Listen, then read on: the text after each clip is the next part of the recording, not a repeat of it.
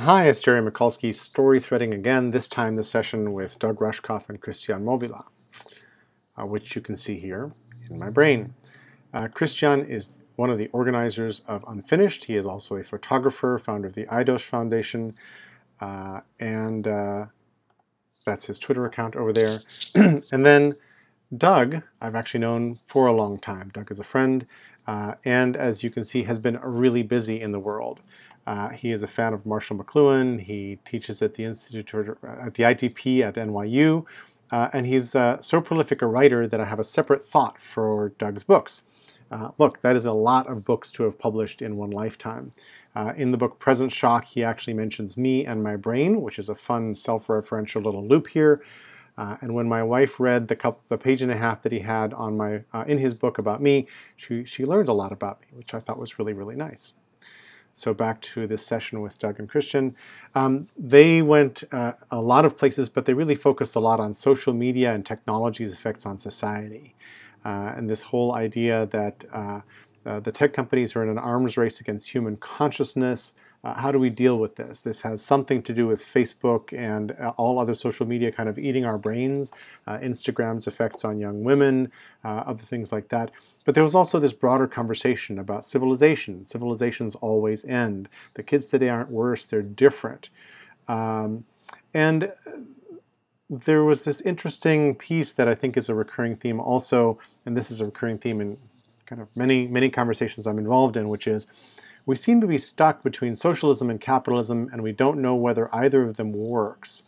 Um, this, this basically, I, I kind of generalize. I've got an active thought in my brain called the only alternatives to capitalism are communism or socialism, and they've both failed, which is a false dichotomy or a false dilemma.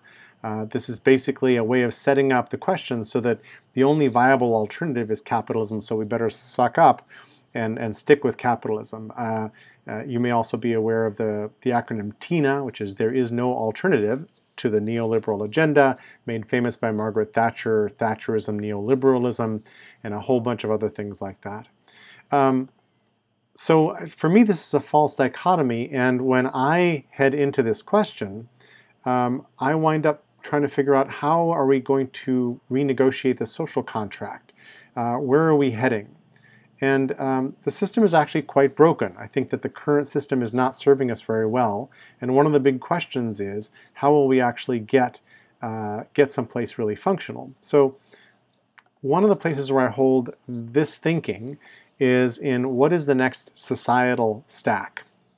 And in fact, I have the thought, what are our next two stacks? And here I'm borrowing um, the notion from software of solution stacks. Some of you have heard of the LAMP stack, which means uh, Linux, Apache, uh, here we go, the LAMP stack, just so you can see it explicitly. This is the Wikipedia page for the LAMP stack.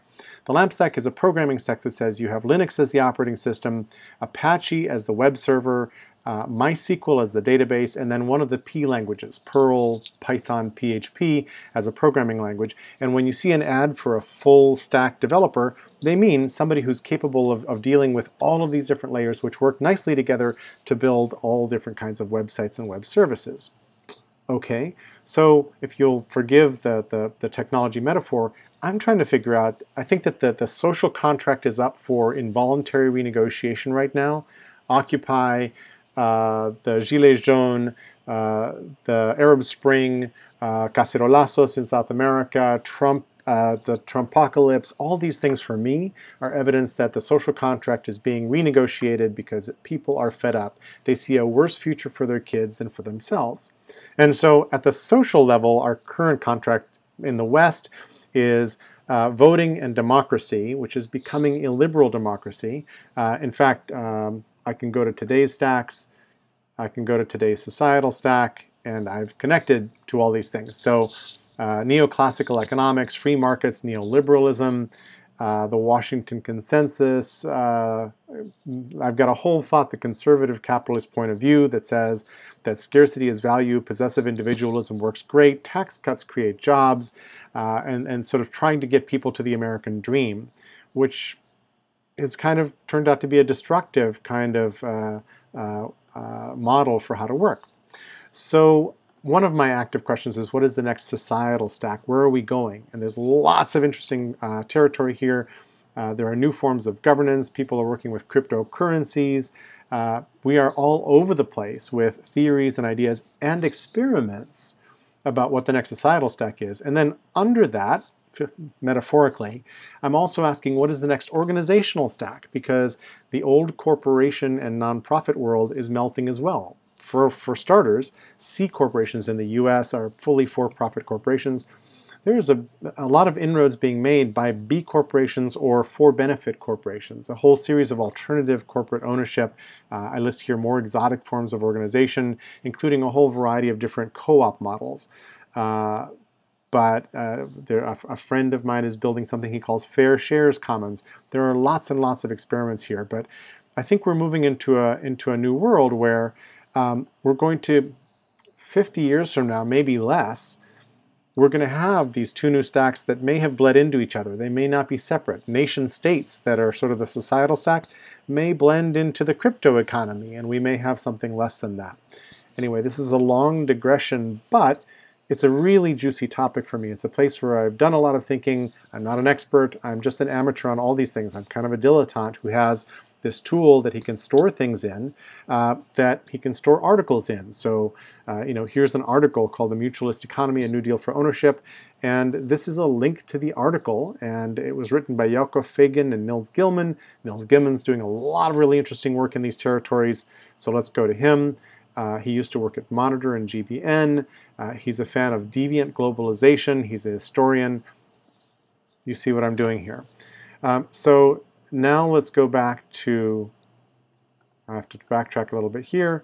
Um, here is a link back to our conversation with Doug and Cristian.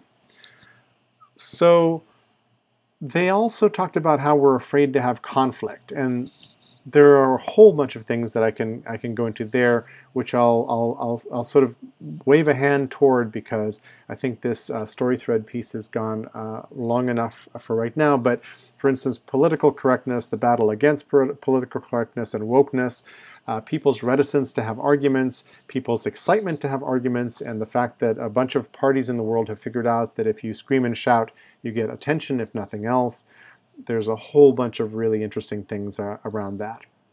Um, finally, at the very beginning of the session, uh, I think it's Doug who quotes Osho saying, if you do sex right, you only needed to do it once a year.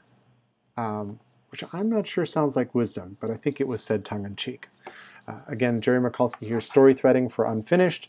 Really excited about where the sessions are going, and I think you'll start to see more and more that um, Emma and I are going to weave uh, the different stories into each other. So look for that as we go forward.